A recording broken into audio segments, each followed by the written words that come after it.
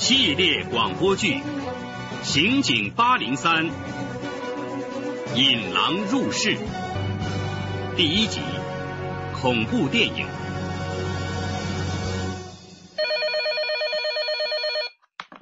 喂，你好，这里是幺幺零，请讲。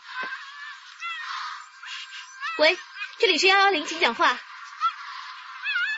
请问你那里是不是发生了什么意外？您需要帮助吗？喂，喂，喂，别紧张，请说一下您的地址好吗？喂，你讲话啊！喂，喂，告诉我们地址好吗？喂，喂，你说话啊！你好，这里是八零三。八零三，我是幺幺零。刚才我们接到一个报案电话，报案人没有说话，但话筒里有很多奇怪的声音。我们从来电显示查出，机主的登记地址是本市江南路六百二十号幺三零六室。哎，会不会有人恶作剧啊？哦，应该不会，我好像听到有女人的哭声。好，我们马上去查一下。朱斌，到，通知丁强，马上去现场。好。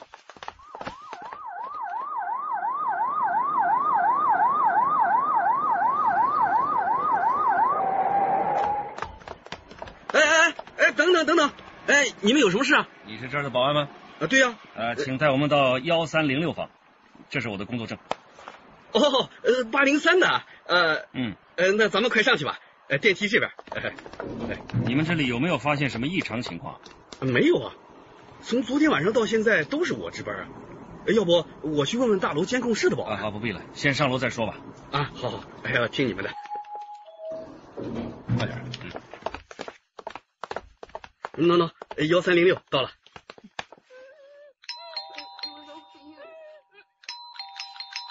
里面有人吗？我们是警察，请开一下门。快开门！幺三零六，哎，快开门啊！哎，警察同志来了。幺三零六住的什么人？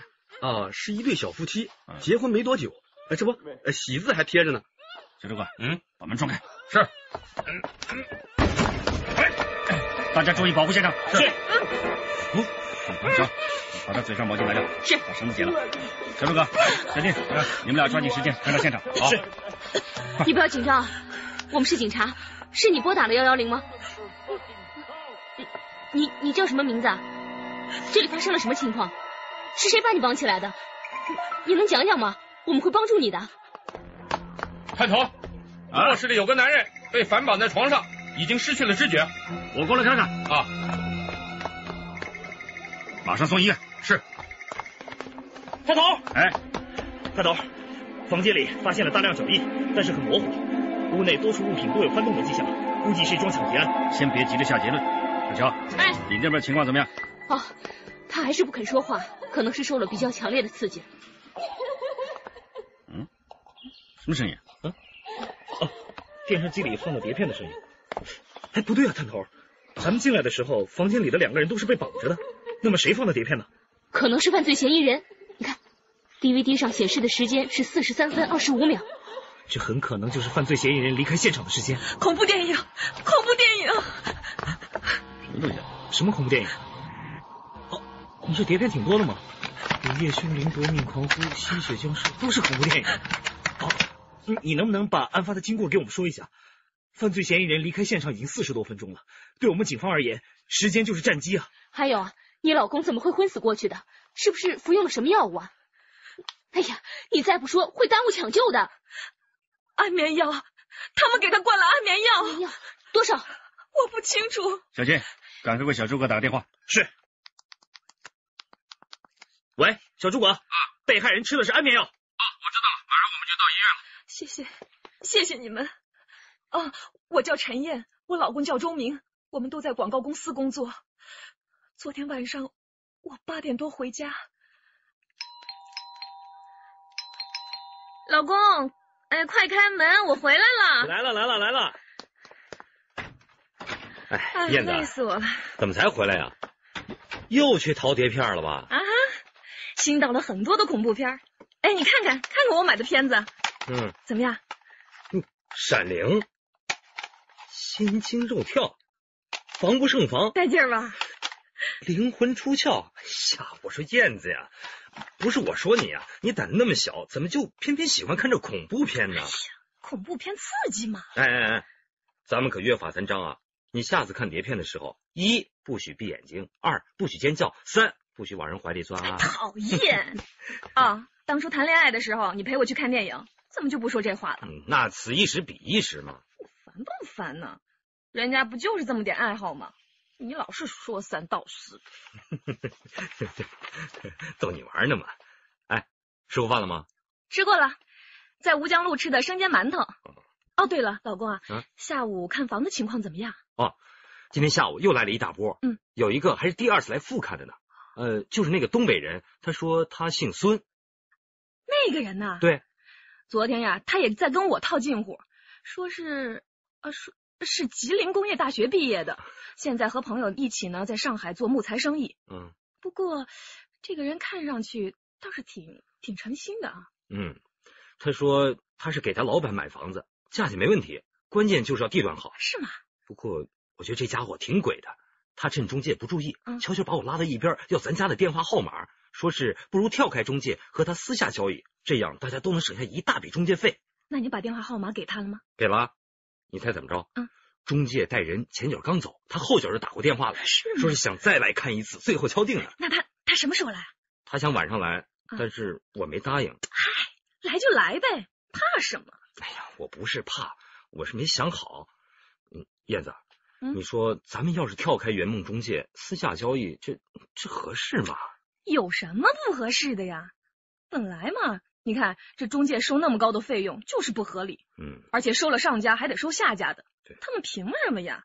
不就是挂个牌和大人来看房吗？可有中介总归放心一些。呃人家说二手房买卖交易，嗯，陷阱特别多。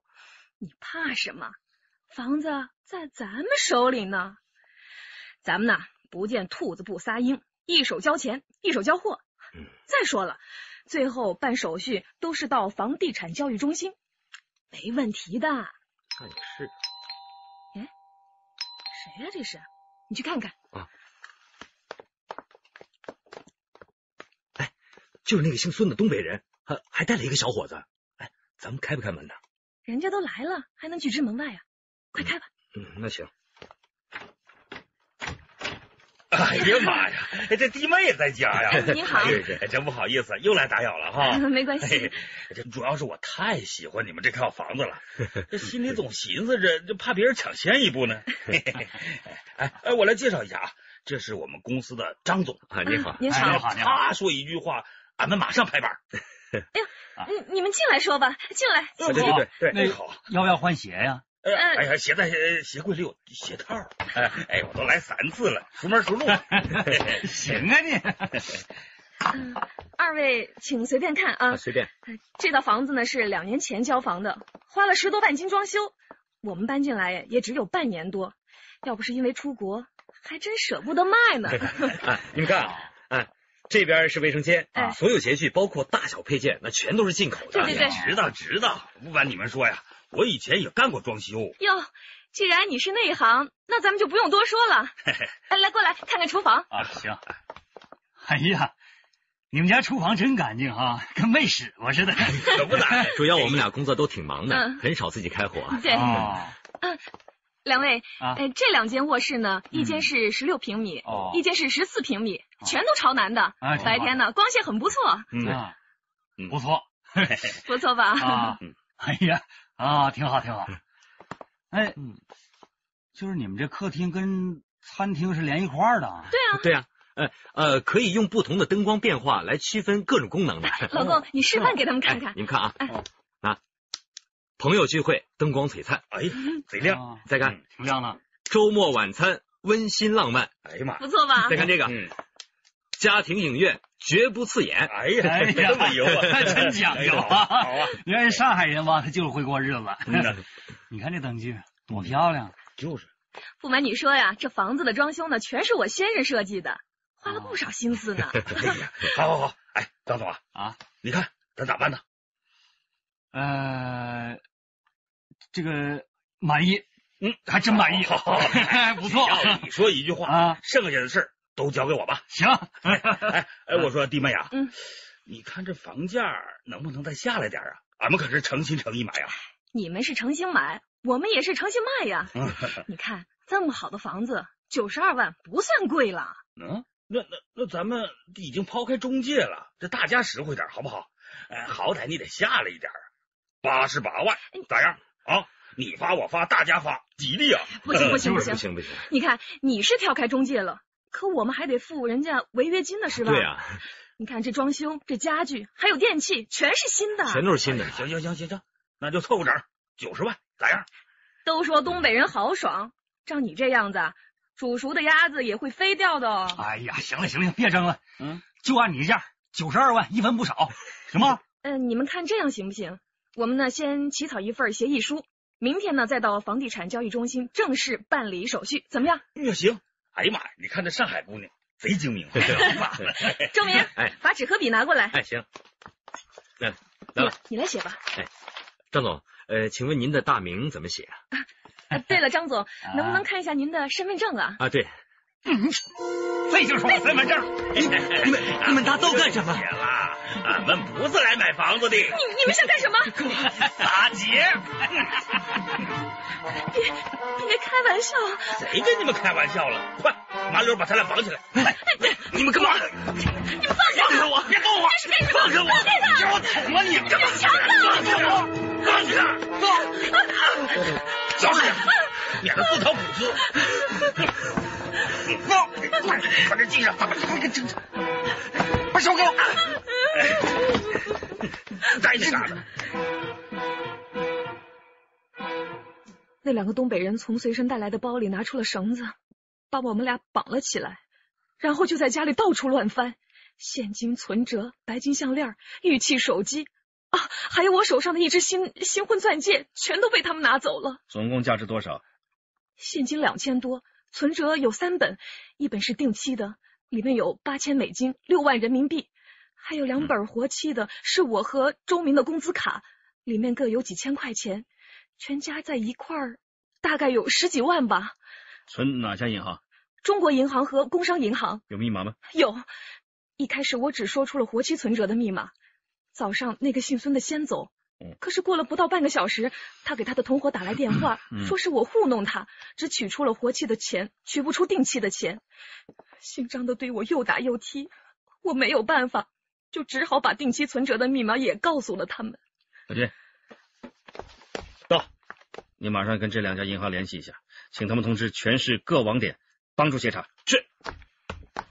啊，你能描述一下这两个东北人的长相吗？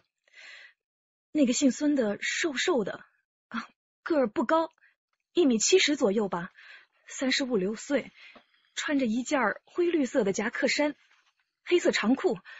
那个张总年纪要年轻一些，最多三十岁，长得挺强壮的，哦，有一米八十多，穿着是一套、嗯一套藏青色的西服。对，嗯，他们俩有什么比较明显的特征吗？特征，嗯。啊，对了，那个姓孙的牙齿黑黑的，烟抽的很厉害，特别能砍。我觉得他他有点变态。变态？俗话说做贼心虚，可是这两个人做完案之后，不但不走，还拔掉了房间所有的电话线，拉上窗帘，关了灯，打开电视，叫我们陪他聊天。从昨天晚上到现在，我简直就像就像演了一场恐怖电影。又不会写，根本没法交流。不管你跟他说什么，他只知道傻笑。咱俩聊聊天呗。哎，哎，对了，妹子，这你刚才跟我说那密码是真的吗？你要是不相信，小区外头就有自动的取款机，你去拉一下就知道了。你把我当傻瓜了？我我去拉卡，摄像头把我录下来了。明天你向警察报案，把身份证拿出来。你你们要身份证干嘛？你说干嘛？傻呀，没取过钱呢。可可是我们的身份证拿去办签证了，对对对，没放在家里啊，没在家里。又糊弄我！你以为只有你们出过国呀？啊！我说这看样子，他对你好吗？你俩也不大配合呀。哎呀，欠揍呢！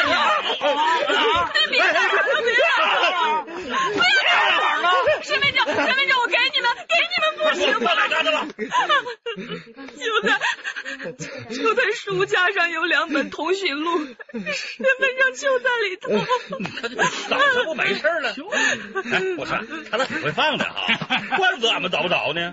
啊，行，在这嘎呢。啊，老公，你没事吧？没事。没事我瞅你咋闹心呢？啊？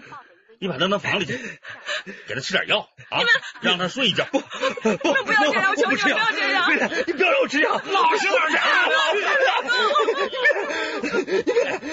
我放开我，放开我，燕子，过来，燕子，放开我，你们放开他，放开他！燕子，别说话，燕子，你说呢？你们给他吃吃什么药了？可乐啊，里边加点安眠药。哎，放心放心，我们只谋财不害命啊，不会让你当寡妇的。嗯，要不你也尝尝？不不啊，瞧把你吓的，我还舍不得给你吃呢。嗯，哎，干我们这行的也不容易。就光说你们家吧，我就来三次了。嗯，你们小区物业啊，还有安全措施都挺到位的啊。要是现在走呢，挺难脱身的。所以啊，我得在这待一宿。嗯，还有这个地哎，你呢，就陪我聊聊天，咋样？你愣糊涂了，还不赶紧快走！这不是你哭啥呀？哎，我看过一本书，上面说呀。上海是最适合女人居住的城市。嗯，这上海女人呐，这幸福指数可高了。哎，就是上海这两天天气吧，那可好了。那上星期我们从老家出来的时候，那都下大雪了。我求你放开我好不好？我说你放松点行不？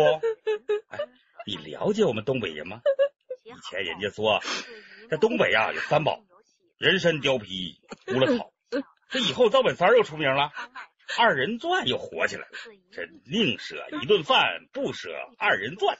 哎，这其实我从小也会唱，找点手绢，弄弄扇子啥的都行。不信，我给你来一段啊！我给你来一段现代摇滚二人转，你看咋样，妹子？嗯嗯。有一位姑娘像朵花啊，有一个爷们儿说你不必害怕呀，一不小心他们成了家呀，生了个崽子一起挣扎，嗯哒哒哒，咚哒哒，咚哒哒哒，咚哒哒。从前的理想啊，看来挺可怕呀。爱情能当饭吃会更伟大呀。为了能有个新鲜的明天啊，我再也听不懂你说的是啥。哎呀，又唱上了。哎呀，没醉呢，消停了啊。好，你们你们把他怎么样了？周明，周明啊！救命！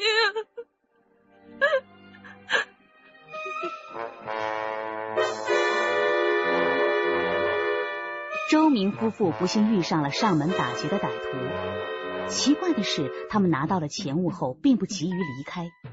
他们到底想干什么呢？请继续收听大型系列广播剧《刑警八零三》。